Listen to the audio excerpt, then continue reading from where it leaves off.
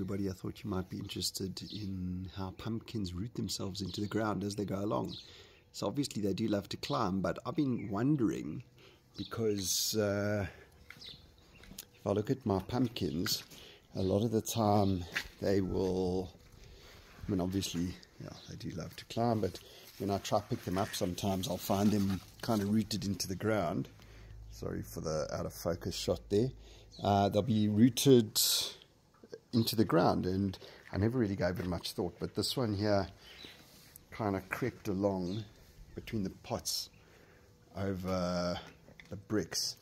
And um, I thought it was quite interesting because obviously as it's been going along it's tried to root itself and kind of at the base of the stalks of the leaves.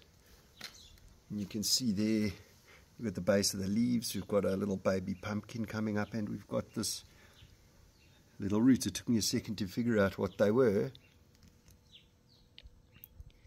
Anyway not life changing but uh, I thought that that was something